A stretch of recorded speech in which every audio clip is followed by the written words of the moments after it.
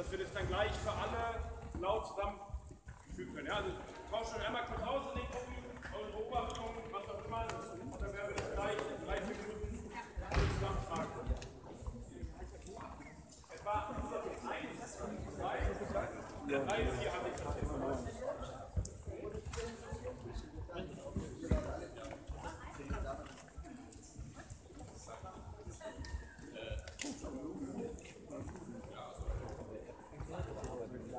und so weiter ist halt immer sehr viel aufgefallen, dass man sehr viel gelobt hat.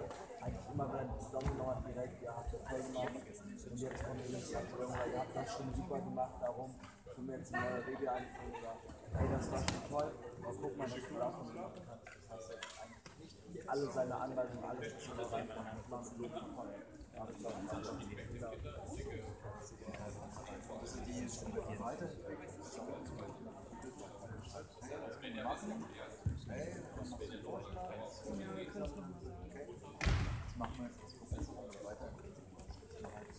Versucht kooperativ die Umgebung weiterzuentwickeln. Jetzt nicht so der Moderator, also andere Moderator. Wir machen das jetzt so,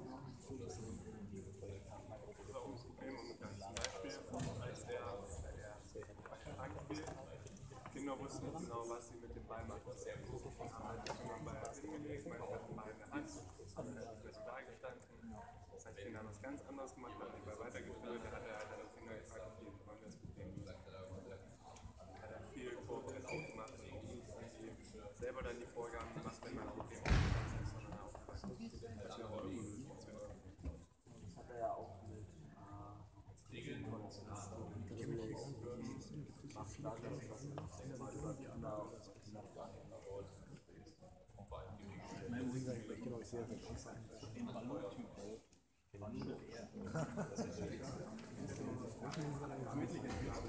Also mal auf jeden Fall wieder Speziell auch hier bei den kleinen bei größeren sehen wir also wirklich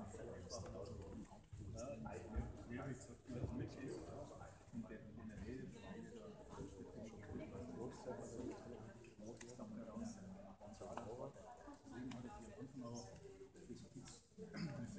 das ist so ein Viech, also so ein Pizzaskola. Kleiner mal ist die andere. Und wenn es so zieht, das ist es ein bisschen rüberziehen. Das ist klar, wenn ich mir jemand reagiert, das hat den Mann abziehen. Aber da ist es nicht so gemacht. Klar sind manche, ich würde sagen, viele Leute, denen scheint es auch Aber ey, da ist doch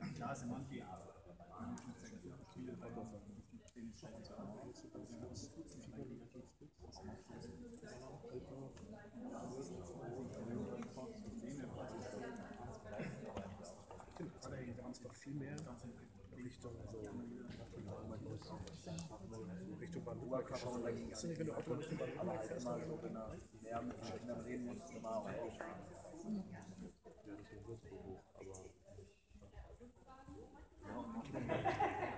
Erklären und Übung tut ja bei uns so von Menschen kapitulieren, nicht schwarz zu sein. Dass halt auch wirklich klar ist, dass ja, jeder das so verstanden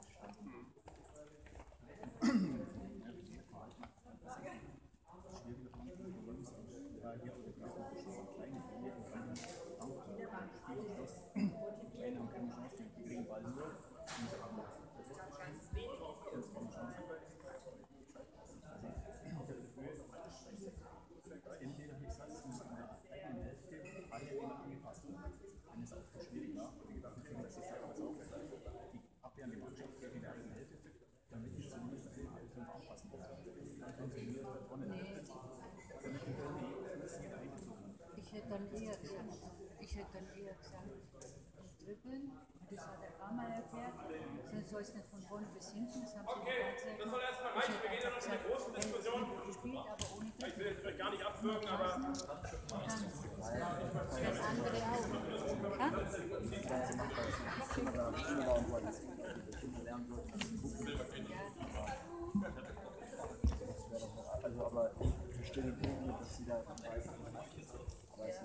halt Das waren nämlich immer die gleichen eigentlich, die da den Ball haben. und das-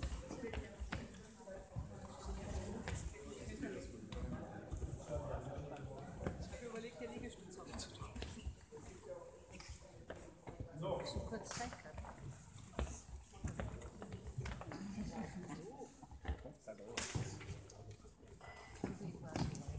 Einmal vorneweg, die Idee war ja allgemein nach dieser Einheit ganz schnell eine Fortbildung, also eine klassische Fortbildung zu halten, wo man dann ganz viele methodische Schritte durchgeht und so. Und wirklich mal halt, auch wenn immer sagt, ja, das ist aber nicht so schnell vorgenommen, sondern war die Idee, mal eine reale Trainingseinheit ähm, durchzuführen. Ich kann sagen, das ist aber meistens auch bei mir, dass ich meinen Trainingsplan mehr Sachen hatte, als ich dann gemacht habe, dass ich zwischendrin ein paar Sachen reduziert habe, weil äh, die Inhomogenität der Gruppe ein bisschen höher war, als ich es vorher gedacht dann reduziert, wir das was vorher haben, wir werden ja gleich gleich mal im Detail drüber sprechen. Ja. In wir gehen die jetzt durch, sagen, was euch aufgefallen ist, sowieso gerne am besten immer auf, was man besser machen kann, weil das ist keiner braucht mal was alles toll macht, es geht ja vor allem auch um die Sachen, die man besser machen kann, und geht diese Sachen dann vor allem auch für euch im Kopf durch, eigentlich solltet ihr jedes eurer Trainings nach diesen Sachen bewerten. Also ich habe mich während des Trainings schon selber danach bewertet und kann mir jetzt auch schon selber meine Urteil geben mit Sachen, die ich besser gemacht habe. Deswegen es gehört meiner Meinung nach immer zum Training dazu, dass ich plane, dass ich es durchführe, dass ich währenddessen aber auch meine Schlüsse daraus ziehe, selber halt gucke, was hat geklappt, was hat nicht geklappt, was kann man besser machen, warum und so weiter. Dieser Teil kommt doch oft immer recht kurz. Ne? Trainingsplanung, so lala, machen die einen mehr, die anderen weniger. Durchführung machen alle, aber dahinter damit auseinandersetzen, ja, mit dem, was passiert ist, das kommt oft ein bisschen kurz. Was hatte die Auswertung jetzt? Die Gruppe 1, die Bewegungszeit hatte, sagt mal, was ihr so für Werte hatte. Zum einen so als Gesamt, Trainingsumfang, 80 Minuten, ja, hatte ich auch ungefähr das, was so da war, war auch so geplant, dass sich erstmal selber und dann hinten raus ein bisschen abschneiden. Wie viel habe ich geredet? 25 bis 10 Sekunden. Wäre auch mit meinem Gefühl überein. Auf alle Fälle sehr lange und sehr viel. Ähm, hängt ein bisschen damit zusammen, dass halt das für die Kinder viele neue Spiele waren. Wenn die jetzt einmal das Spinnennetz kennen, dann kann ich beim nächsten Mal sagen, wir bauen ein Spinnennetz auf, wir stellen es hin, muss nur kurz was erklären und kann dann schneller in die Sachen reinkommen. Ja, also das ist ja auch mal so ein Punkt, man darf eigentlich nicht so viele neue Spiele auf einmal in der Einheit äh, bringen, weil sonst verliert man genau diese Zeit, aber da muss ich einfach sicherstellen, dass das funktioniert bis heute. Habt ihr alle 25 Minuten ungefähr? Das wäre auch. Du hast am Anfang ja einmal 8 bis 10 Minuten geredet und dann waren es immer nur noch kurze, kurze Worte. Ja. Aber wir, dadurch, dass wir halt die Spiele nicht kannten, war das halt der Punkt. Was habt ihr an Bewegungszeit? Erstmal, welches Kind habt ihr euch ausgesucht? Also ich habe mir die mit den Shirts ausgesucht, die blau waren mit Orange. Okay. Der ist 21 Minuten und 28 Sekunden gelaufen. Okay. Und immer die ganze Zeit. Was habt ihr noch?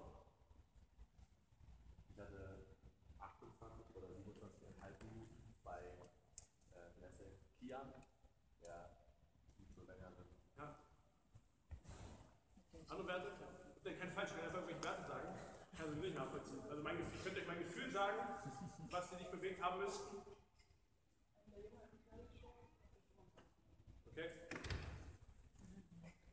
Die anderen nicht gearbeitet in der Gruppe, ich habe zehn Leute in der Gruppe. Okay. Noch jemand? Ich hatte 2710 bei Jungen mit blauen Shirt. Ja. Das war auch ungefähr so mein Gefühl. Ich hätte auch so 25 bis 30 gesagt, so vom Gefühl an Bewegungszeit, außer der Raphael, der ein bisschen weniger, weil der dann am Ende einfach selber durch, hat man ja auch gesehen. Ähm, wahrscheinlich am Anfang, wenn man die Erklärung weglässt, deutlich mehr Bewegungszeit bei den ganzen Dritte-Geschichten und dann am Ende äh, bei der Spielform dann weniger, weil da immer die Hälfte der Leute draußen saß. Findet ihr es einen guten Wert oder einen schlechten Wert? Jetzt in der Bewertung für die Einheit. Fandet ihr es zu viel, zu wenig? Würdet ihr mehr, hättet ihr irgendwo mehr Bewegung rausgeholt? Hättet ihr gesagt, es war zu viel? Also ich fand das gut, vor allem vor dem Hintergrund, dass, wie du gesagt hast, die Kinder ja die, die Spiele gar nicht so kannten. Das heißt, alles musste neu eingeführt werden. Und äh, das ging relativ fix. Und dann auch immer mit einmal spielen lassen und dann erklären, worauf wir achten wollen. Das heißt, wir haben es immer einmal gemacht, bevor sie sich dann irgendwie gegenwärtig wussten, worauf wir es beachten können. Also ich fand das echt in Ordnung. Also man muss ja auch sehen, letzten Endes ist die Hallensituation so, dass nur zwei Mannschaften gleichzeitig spielen konnten. Und wenn man halt unter Umständen hier das zweite Feld noch mit benutzt hätte, hätte man das Ganze natürlich auch noch parallel gestalten können in mehr Bewegungszeit. Also hängt natürlich auch irgendwo von den Gegebenheiten ab, die man vorfindet. Klar, klar. Und ich kann dir nur sagen, dass trotzdem das eine bewusste Entscheidung. Ich habe in meinem Trainingsplan, weil ich vorher davon ausgehe, dass ich drei Drittel habe, also auch gedacht, ihr seid auf ein Drittel. Und ich habe zwei, habe ich selber schon geschrieben, auf zwei Felder war auch schon das Fragezeichen. Ne, weil ich auch, wenn ich das dritte noch gehabt hätte, ich genauso entschieden hätte, weil ich das Gefühl hatte, die waren halt schon relativ angestrengt, die waren schon relativ kaputt. Und ich hatte das Gefühl, dass ihnen halt eine kurze Pause immer auch mal wieder zugute kommt. Ne? Da sind wir auch wieder bei qualitativer Bewegungszeit. Ich hatte das Gefühl, dass es in dem Fall auch den Spielern allen hilft, wenn die auch mal kurz draußen sitzen. Ich habe sie probiert, trotzdem im Spiel zu halten.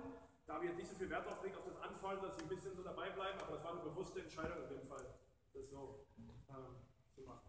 Aber ihr merkt schon, obwohl wir relativ viele Spiele hatten, wo alle dabei waren, wo es wenig Anstehen und sowas gab, ja, trotzdem ist die Bewegungszeit von 90 Minuten, die ich eigentlich mal ursprünglich angesetzt hatte, schon runter auf, ich glaube, Maximum war 27, was irgendwer gesagt hatte, 28 bis 25 und so weiter. Ne? Also da merkt man schon, wie diese Zahl wirklich schnell auch runtergehen kann. Und ich habe ja heute noch nicht mal einen großen technischen Anspruch äh, gehabt, sondern erstmal so einen allgemeinen. Okay. Gut, Gruppe 2. Methodik. Seid immer noch die, die mehr hinten sind, habt ihr euch wieder verteilt. Was habt ihr so euch notiert? Kann ich?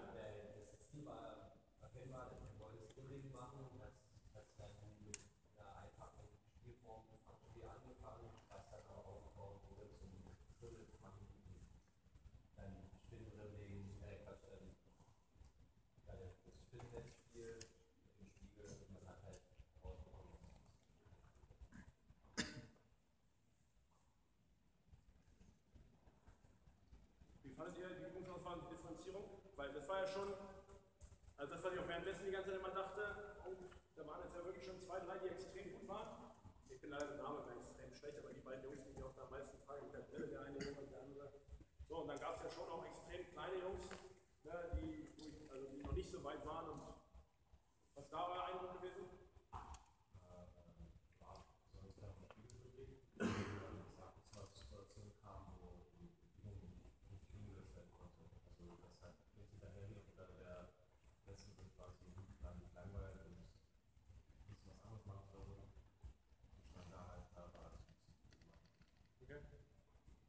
Okay. Spiel, also hast du dann mal pausiert und hast dann die Bilder, die die ganze Zeit still waren, weil dann wirklich, am Schluss hast du gesagt, da waren nur noch die Kleinen, die auch nicht in der Lage waren, den Ball zu klauen. Ähm, aber dann hast du sie getauscht. Das war das Spiel, wo ich mir am längsten überlegt habe, ob ich es wirklich mache oder nicht, weil das ist das, was passiert bei dem Spiel. Ne? Das halt die Spieler, die schon stärker sind, natürlich den Ball nicht verlieren und natürlich, wenn sie ihn mal verlieren, ihn relativ schnell wieder bekommen gegen die kleinen Kinder. Ja, ich habe dann irgendwie probiert, zwischendrin immer mal wieder reinzuholen, das willst du nicht haben, dass du das 15 Minuten spielst, hat ungefähr, und das 15 Minuten lang das gleiche Kind da an der Spinnenlinie steht, so, sondern das willst du ja schon mal irgendwie ausprobieren, probiert ein bisschen einzugreifen durch den Tausch. Probiert, ja zwei Kinder zu unterstützen als äh, Spinne, dass wir den Ball mal verlieren. Aber das ist ja dann genau die Aufgabe, mit diesem Spiel halt arbeiten muss. Aber ich wollte es irgendwie trotzdem drin halten. Ähm, müsste ich mir im Nachhinein überlegen. Also das ist, aber, das ist ja genau die Frage. Jetzt ist ja die Überlegung, jetzt habe ich das Spiel gemacht. Und ich wäre jetzt der Trainer dieser Mannschaft. Ich würde es ja nochmal machen irgendwann. Und jetzt ist ja genau die Frage, was mache ich beim nächsten Mal? Das ist ja jetzt genau das, das geht ja dann genau ins Coach. Wenn die dieses Spiel kennen und finden, das ist im heutigen Zeitalter mit YouTube und allem, das geht total schnell. Da geht man auf den Kanal von der Mini-Trainer-Offensive, da guckt man sich ein paar Trainerfortbildungen an, die ja alle da online geschaltet sind und dann findet man dieses Spiel relativ schnell raus. Aber nur weil ich dieses Spiel spiele, heißt ja nicht, dass gleich alles funktioniert. Und das ist jetzt ja genau das Trainersein. Ich habe das Spiel gespielt, ich habe jetzt meine Erkenntnisse. Was mache ich beim nächsten Mal? Wie kann ich dafür sorgen, wenn ich die gleiche Kinderkonstellation wieder habe? Weil natürlich kann ich sagen, da wäre toll, wenn wir nicht mehr so viel, aber so ist es immer manchmal. Ich weiß nicht, ob ihr in eurer Mannschaft nur ein homogenes Level habt. Also ich habe es in meiner Schule nicht. Ich habe in meiner Schule auch Fünftklässler und ich habe Drittklässler dabei, die gerade das erste Mal dazukommen.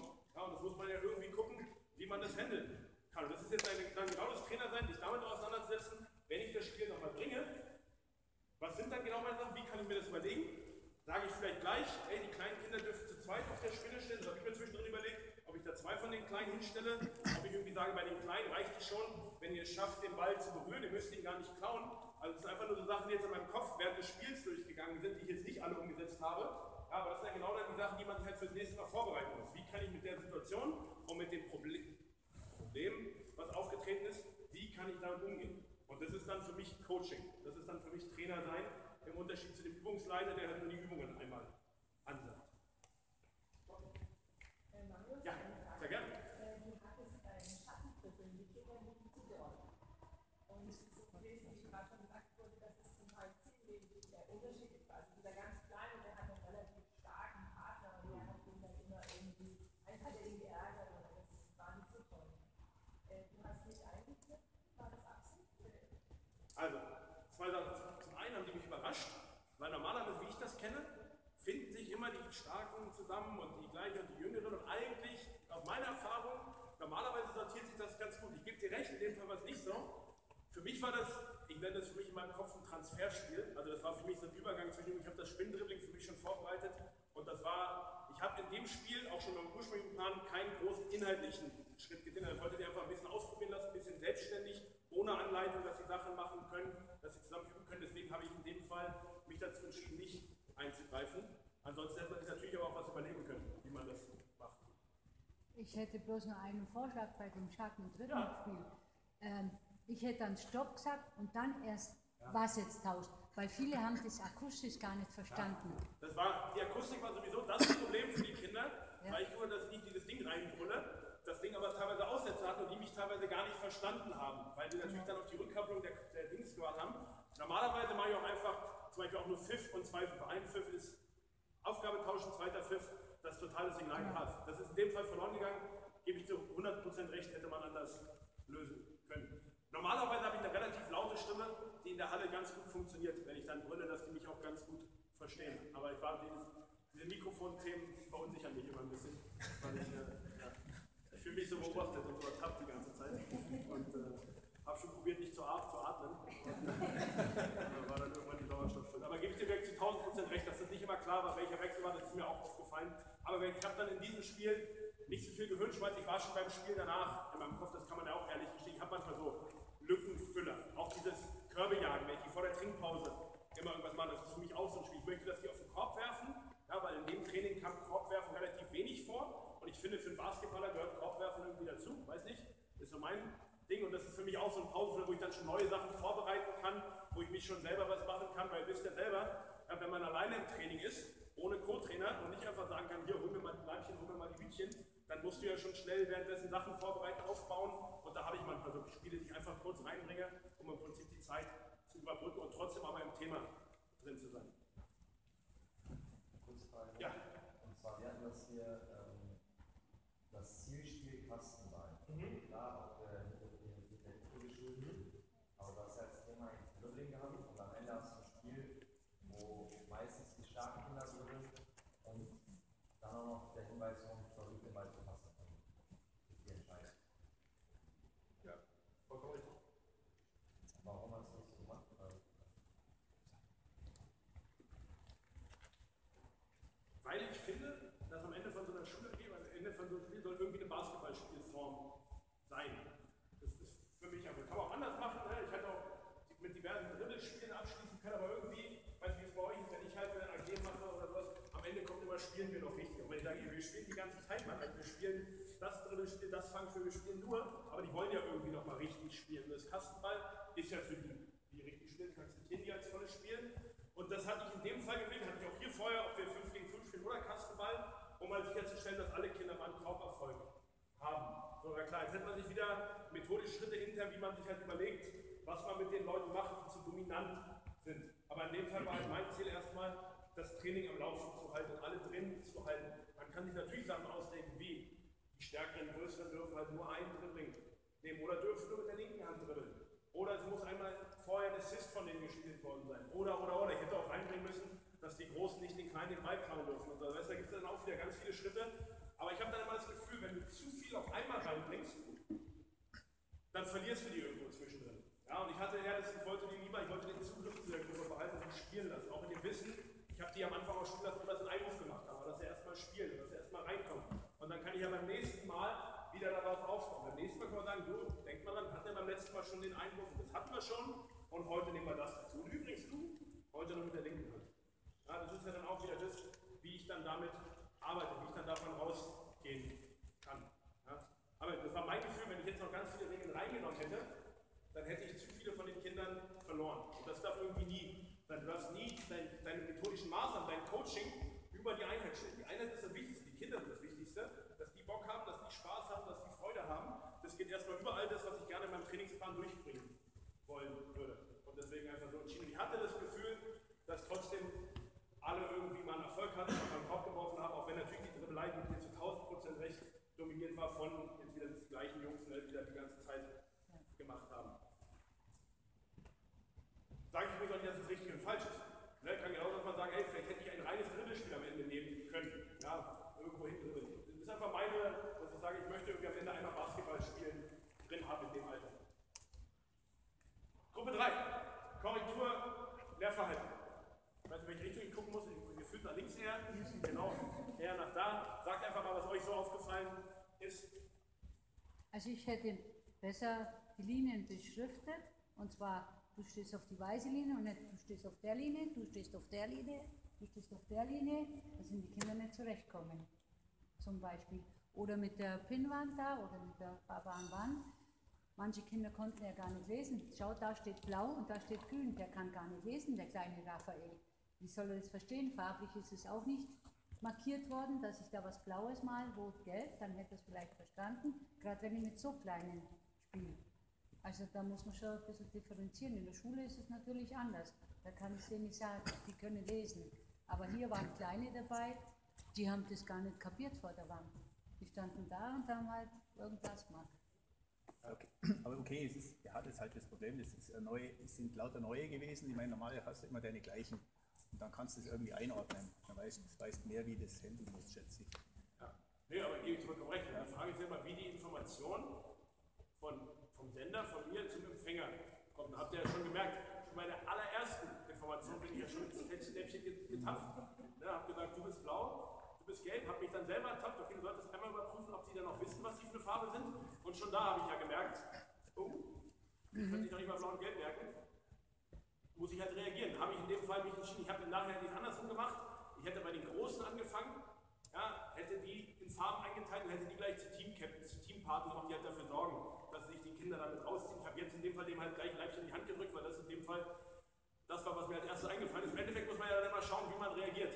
So, und jetzt im Nachhinein, klar, ich dachte, ich habe Kinder, die zwischen 8 und 10 Jahre alt sind. Ja, das war so, dass das vorher kam. Muss man halt schauen, wie man sich darauf anpasst. In der glücklichsten Situation hat man ja meistens nicht Gruppen, wo man komplett die Kinder gar nicht kennt, sondern wenn dann immer ein, zwei neue Kinder sind, auf die man sich einstellen kann.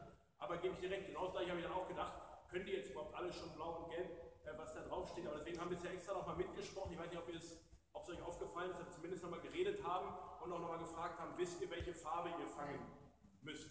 So, also, aber ja.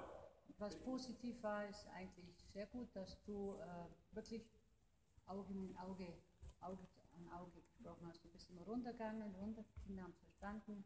Äh, als wenn du da stehst, als großer Balu der Bär und da sind die Kleinen und wir müssen dann immer hochgucken und so. Also das fand ich jetzt wirklich echt krass toll. Ja. Was mir auch aufgefallen ist, du hast halt auch häufig nachgefragt bei den Kindern, ob sie es dann wirklich verstanden haben. Du hast halt dann auch so gesichert, okay, dass die Übung durchgeführt werden kann, ohne dass es sehr große Probleme gibt. Und wenn es Probleme gab, zum Beispiel gab es die Situation bei dem ähm, Fangspiel, dass äh, die Kinder dann, als gefangen wurden mit dem Kribbeln, nicht wussten, was sie mit dem Ball machen sollten. Da hast du die auch zerrufen und hast sie gefragt, was macht ihr jetzt mit dem Ball? Und dann haben, seid ihr halt darauf gekommen, beziehungsweise die Kinder darauf gekommen, dass sie den Ball halt um die Hüfte kreisen. Und so hast du halt viele Probleme oder Situationen gelöst. Und das war relativ gut auf jeden Fall. Aber ja, genau, weil das ist, also ich habe sehr viel nachgefragt, weil ich mir da auch schnell verunsichert war, was sie denn überhaupt von dem verstehen, weil alleine, das, fällt aber mal gar nicht so auf, alleine wie diese Fangspiele und was das Fangen an sich heißt. Also bei uns in Berlin heißt das Fangen und Abtippen. So, da weiß ich, wenn ich in den Norden gehe und eine Fortbildung mache in Schleswig-Holstein, dann ist es Ticken oder Tecken oder wie auch immer. Und im Süden also heißt es überall auch anders. Und du, du sagst so Wörter, wo du denkst, okay, ist eigentlich total klar, was ich sage. Und dann merkst du aber, nee, ist gar nicht immer total klar, was ich sage. Also auch das gehört ja dazu, dass so eine Gruppe sich an deine Sprache gewöhnen muss, dass jeder zusammen dafür sorgt, dass sie die gleiche Sprache sprechen. Da wir uns ja immer von unserem Erfahrungsschatz als erwachsene Menschen immer deutlich nach unten, geben auf das Level und sie wissen, okay, das sind die Kinder, das können die Kinder. Ja, Kinder verstehen die Sachen sehr umweltbezogen. Also es ist leichter wenn ich sage grüne Linie, ja, als so und so weiter. Also grün können sie anfassen, da geh mal zur Bank, geh mal nicht drei Meter entfernt, weil drei Meter ist wieder, ja? aber wenn ich sage, geh mal zur Bank, das ist deutlich leichter für ein Kind, wenn ich dem was Konkretes gebe, was sie halt in die Hand nehmen können, weil sie sich daran orientieren können. Deswegen ist ganz, ganz wichtig, dass ich schaffe, auf eine Sprachebene zu kommen, ja, mit den Kindern, dass sie verstehen, was ich von ihnen möchte. Ja, und das ist zum Beispiel, ich kann ja sagen, die schwierigste Situation, die ich als Trainer in meiner Karriere hatte, war, als ich eine 19 Bundesliga gecoacht habe und eine U11. Und die haben jeden Dienstag und jeden Freitag nacheinander trainiert. Ja, das klingt total simpel, aber wir wissen gar nicht, wie schwierig das ist, dass du dich für das U11-Training auf dieses Sprachlevel alles runter begibst und dass du hinkriegst, dass du das gut machst. Und dann geht sofort das NBBL-Training los und auf einmal gucken dich die coolen 18-Jährigen an und du musst punkten, sonst denken, was will der Typ von mir? Ja, dass du da deine Sprache wieder auf das anpasst, was eigentlich verlangt ist, dass die Leute, weil darum geht es immer, ich habe Wissen und ich habe eine Information und ich muss dafür sorgen, dass möglichst viel von meiner Information bei dem Spieler, bei der Spielerin ankommt. Ja, und da wissen wir gar nicht, wie viel immer verloren geht. Ich mache das total oft, dass ich was sage und dann die Kinder fragen, was habe ich denn eigentlich gerade gesagt? Und dann merkst du, okay, gut erklärt, oder du merkst, die haben ja gar nichts von dem behalten, schlecht erklärt.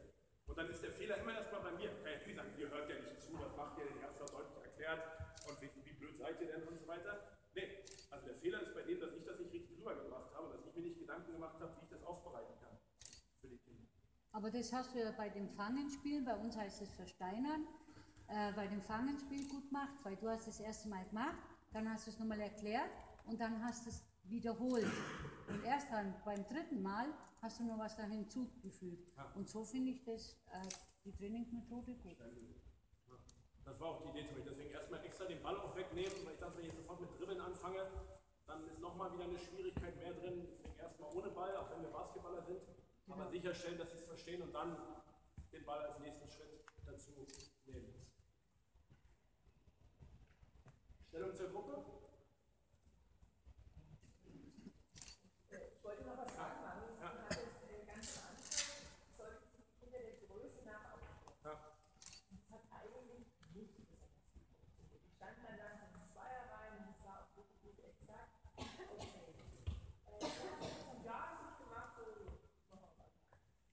Psychisch, das ist gut. Das habe ich verstanden, weil ich finde, am Anfang ist es total wichtig. Also, das, ist eben meine Frage eigentlich. Ich denke, dir geht es eben darum, jetzt hier nicht auf Extraheit und nicht Lebenszeit stehen, aber trotzdem, es war eigentlich echt. Müssen wir wieder differenzieren, wo ich bin. Wenn ich jetzt in meiner U12 wäre, hätte ich auch gesagt, was ist denn eigentlich los? Du bist noch deutlich größer als der andere, das kriegen wir auch ein bisschen besser hin. Bei denen war wieder die Idee, wollte was finden, um Teams einzuteilen, weil ich die gar nicht kannte. So, und dann dachte ich mir, okay, der Zufall wird vielleicht so helfen, dass ich die kleineren so dann immer sortiere, dass das einfach ein Weg für mich ist, die Teams äh, zu verteilen. Deswegen war mir jetzt, ob der eine den anderen steht, gar nicht so wichtig. Ich wollte jetzt nicht gleich am Anfang bei dem ersten Ding, wenn die mich kennenlernen, gleich den Schimpfunkel einmal raushängen lassen. Deswegen war das in dem Fall mein Hintergrund. Ich gebe dir recht, wenn man dann in der Situation ist, wo die schon exakter arbeiten können und sowas, hätte man sich damit viel länger sagen können, macht Beamte nochmal. Dann hätte ich aber auch wieder kritisch sagen müssen, der Raum, den ich denen gegeben habe, war viel zu eng. Ne, der Platz zwischen dem kleinsten Kind und dem größten Kind, also war mindestens fünf Meter zu kurz, das hätte ich ein bisschen beiseite schieben müssen. Ich bin da immer erstmal sehr, dass ich mich selber erstmal ankreide, was ich dann da eigentlich gemacht habe. Ich würde beim nächsten Mal den Platz größer machen, würde ihnen vielleicht auch ein bisschen mehr Zeit geben, dass sie da auch ein bisschen mehr kommunizieren. Ich wollte einfach, dass sie ins Reden kommen, eine Teameinteilungsmethode haben und ich mache das relativ gerne, dass sie sich nach irgendwas aufstellen. Stell dich nach dem ersten Buchstaben von deinem Vornamen auf, stell dich nach dem ersten Von meinem Namen an, einfach um immer wieder andere Teams zu haben, weil ich mag nicht, ja, dann gehen wir gleich in die Diskussion, das sind ja unfaire Teams, ich kann nicht sagen, nee, war der Zufall. Ja, wir haben uns jetzt nach dem aufgestellt, kommt vor, kämpft euch durch, weiter geht's. Stellung zur Gruppe war, war positiv, weil du hast immer geschaut, dass du alle vor dir hast und wenn einmal hinten welche waren, kommt ihr mal davor, ist dir sofort aufgefallen, Wobei ich ein, zwei Fehler gemacht habe, trotzdem, die mir aufgefallen sind. Ich würde eigentlich mit so einer Gruppe immer weg von euch stehen. Und ich habe ein paar Mal zu euch gestanden. Das heißt, ich habe ja. gestanden dort ja. und die Kinder haben im Prinzip zu euch geschaut. Ja. Und jetzt als Kompliment für euch, ihr seid deutlich interessanter manchmal ja, für Aufmerksamkeit, als wenn ich da die ganze Zeit rede. Deswegen, normalerweise müsste ich durch die Gruppe durchgehen, einfach nur um mich so umzusehen, dass hinter mir die Wand ist. Die Wand ist vielleicht immer noch interessanter als ich, aber bietet zumindest deutlich weniger Ablenkung. Ja, vor allem auch dann für Kinder zu ihren Eltern. Und ich gucke normalerweise, keiner hinter mir steht, aber dass auch das, was hinter mir ist, nach Möglichkeit weniger interessant ist als ich. Ich habe da gleich noch zwei Fotos zu, um das nochmal im Detail ähm, zu zeigen, um das mal nochmal zu verdeutlichen. Und das andere, das geht bei uns in der Schule ja gar nicht, dass ich die zum Trinken rausschicke. Ich habe da keine Aufsicht. Ja, Ja, also wenn dann sind die Getränke, Plastikflaschen sowieso bloß erlaubt, hinter der Bank und dann mache ich, lasse sie da und lasse da trinken, aber nicht raus. Da kann ich dir aber sagen, also Ja. das ist ja auch überall, so, wir in Berlin, in unseren Hallen, dürfen die Flaschen gar nicht in die Hallen nehmen. Wir haben schon Diskussionen, das ist kein Spaß, ob wir beim Spiel die Flaschen mit in die Hallen nehmen dürfen. Also beim Training absolutes Tabu, es darf keine Flasche, es muss außerhalb der Tür stehen, frag mich nicht warum. Und beim ich musste wirklich bei einer Halle diskutieren, ob wir beim Spiel den Gästen erlauben dürfen, dass sie ihre Trinkflaschen mit an die Bank nehmen. Das ist das, klar, da muss die Gruppe deutliche Regeln haben, es darf keiner von da raus irgendwo, das muss man mit einer Gruppe klären auf alle Fälle.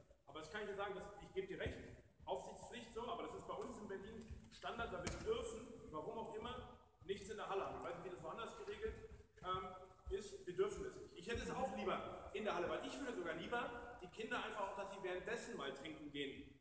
So sorge ich zumindest dafür, dass sie geregelt rausgehen und ich dann wieder nachzählen kann, ob alle wieder da sind, ob ich weitermachen kann. Ich hätte es viel lieber, wenn du hier an der Wand sowas hättest, du kannst auch mal währenddessen, wenn du das Bedürfnis hast zu trinken, dass du auch mal währenddessen trinken gehen kannst. Aber ist bei uns leider, warum auch immer, überhaupt nicht umsetzbar. Habe ich bei anderen Sportarten, sehe ich das, beim Fußball, beim Eishockey, die dürfen währenddessen trinken, die verlieren gar keine große Zeit mit der Trinkpause. Geht aber nicht. Ja, aber ich weiß auch nicht, ob es, also, keine Ahnung. Das Problem ist ja, dann überzeugst du die, dass die Getränke in die Flasche dürfen. Das erste Kind mit acht Jahren kippt das um, was dann immer einfach passiert. Siehst du, habe ich dir doch gesagt, der Boden, der schöne Boden und Parkettboden, oh Gott. Und das ist ja, es ist gut, dass Leute auf die Hallen aufpassen, verstehe mich nicht falsch. Und die Hallen hier sind auch super toll gepflegt. Ich habe schon 20 Mal geschwärmt, wie dreckig so eine Halle in Berlin wäre und wie toll diese Halle hier gepflegt ist, wie toll die hier aussieht, die Schule. Das ist, auch mal woanders nicht geht, aber das. Letzte, Gruppe 4, muss ja wahrscheinlich dann eher nach hier vorne schauen. Verhalten der Kinder, Lernklima, was ist euch aufgefallen? Du hast dieses äh, Aufräumen zum Spiel gemacht, indem du äh, quasi eine Deadline gesetzt hast, aus dem Wettbewerb gemacht, 10, 9, 8 und jetzt das immer wieder wiederholt. Die Kinder, die den, den, die Challenge schon angenommen haben, die sind sofort gelaufen und die anderen, die das gerade Reifenfluss sind, aber den Kindern ist das hinterher. Also, auch wenn es nicht alle verstanden haben von den Kindern, haben sie verstanden, abgeguckt, äh, jetzt findest du, wenn du Ruhe hast und dich auf den Boden setzt, dann sehen sie, du sitzt und sie setzen sich auf sind und sind dann ruhig, weil du sozusagen in die Ruhe kommst.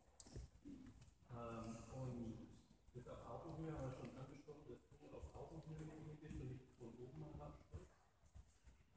Ähm, was du mit der mit dem Sitzen gemacht hast, du hast eine Nähe hergestellt, also hast du zu dir geholt, dass alle bei dir sind und den Fokus auf dich richten. Das ist gut gelungen. Und du hast ganz am Ende mit dieser Nähe auch gespielt, als die, du gesagt hast, für die letzte Übung du hier nochmal einen Ball und die ersten schon losgestürzt sind. Dann bist du nochmal weggegangen von den Bällen und die sind alle dir sozusagen hinterhergegangen. Du hast mit dieser Nähe gespielt und die dann sozusagen an.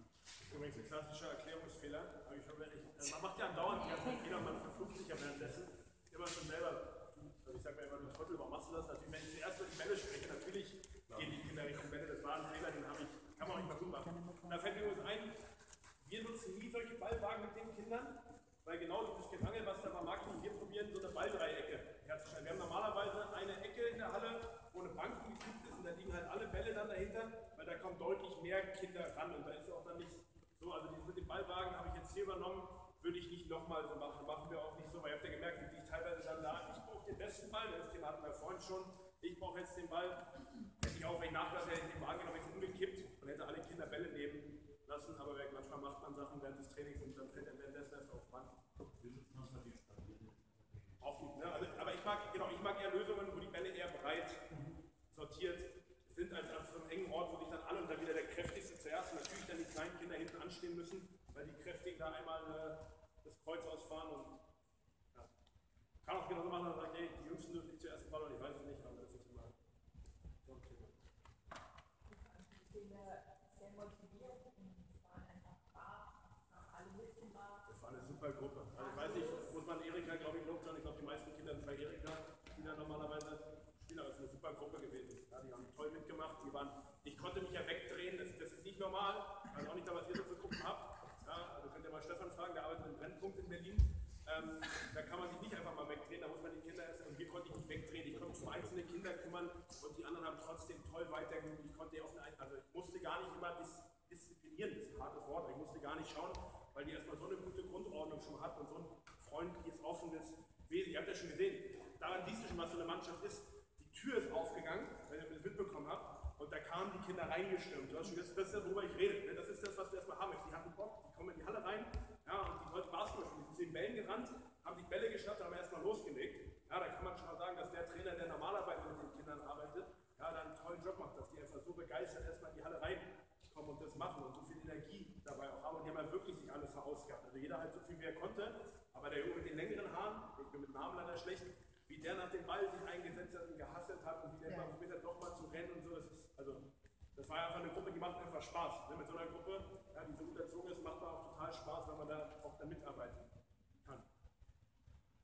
Ähm, ganz kurz, das machen wir ganz schnell, das ist hier hinterher nochmal zugeschickt. Ne? Da gibt es halt so genau das, so einen Unterschied zwischen dem Übungsleiter, dem Trainer und ich nenne ihn mal den Drill Sergeant, den wir nicht haben wollen, der durch die Halle halt alles brüllt, alles vorgibt und alles genau ja, nach den Dingern. Verstehe mich nicht falsch, man muss auch mal eine klare Ansage machen.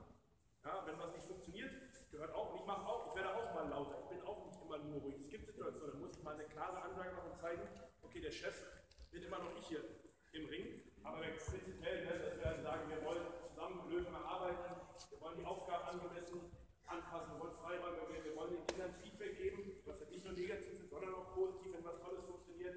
Weil wir wollen Entwicklung bringen, wir wollen ihn auf Augenhöhe bewegen und wir wollen induktiv, also wir wollen die Kinder was entdecken lassen im Training, im Idealfall.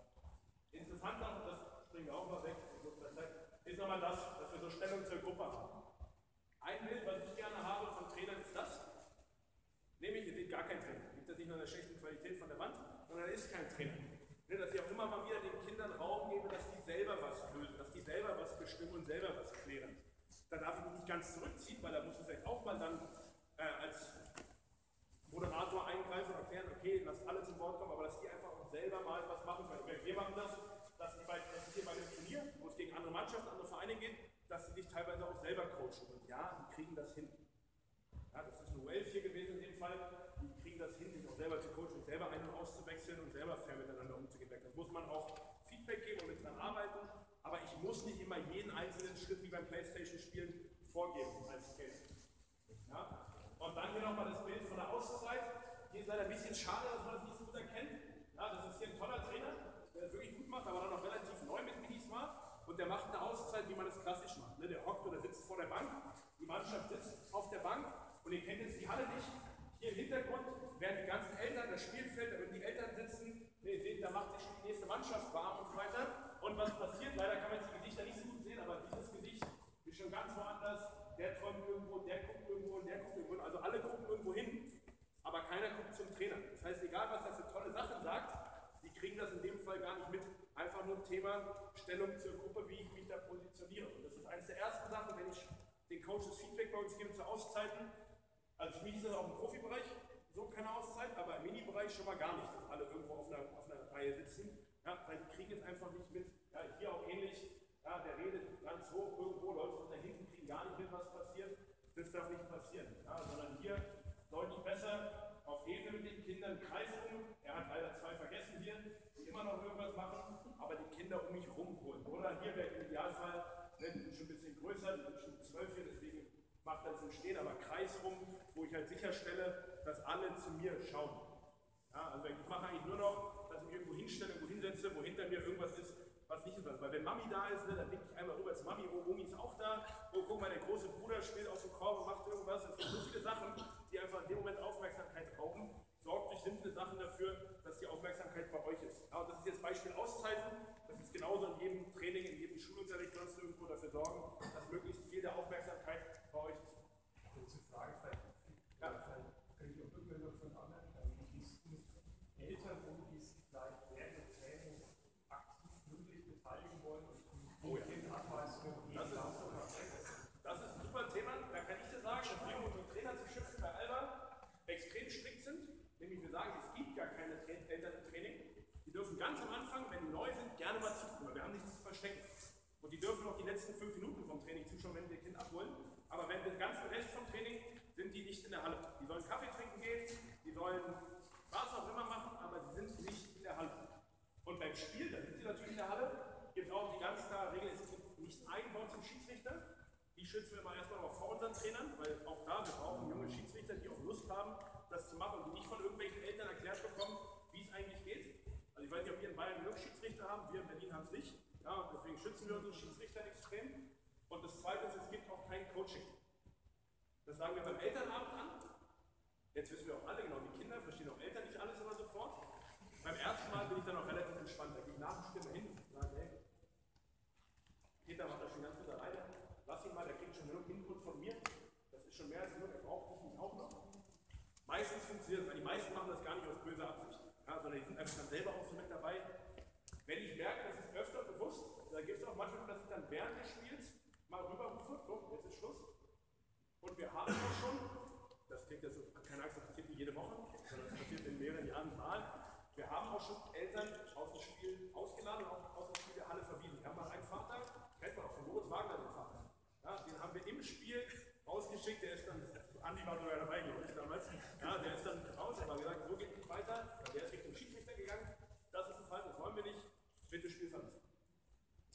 So, also, weil da wollen wir einfach, ne, vor allem auch, da wollen wir auch jüngere Trainer schützen. Für mich ist es relativ leicht, ich gehe zu Eltern hin, spreche mit denen, aber ihr habt bestimmt auch junge 18-Jährige, ich habe jetzt 18-jährige Trainer, die ganz neu arbeiten. Und wenn so ein 18-Jähriger zu einem gestandenen 40-jährigen Mann hingehen muss und mit dem drüber reden muss, das fällt ihnen gar nicht so leicht. Deswegen sagen wir Training, bringt die Kinder, holt sie ab, Coach ist in der Halle und gut ist. Das ist unsere Lösung. Also,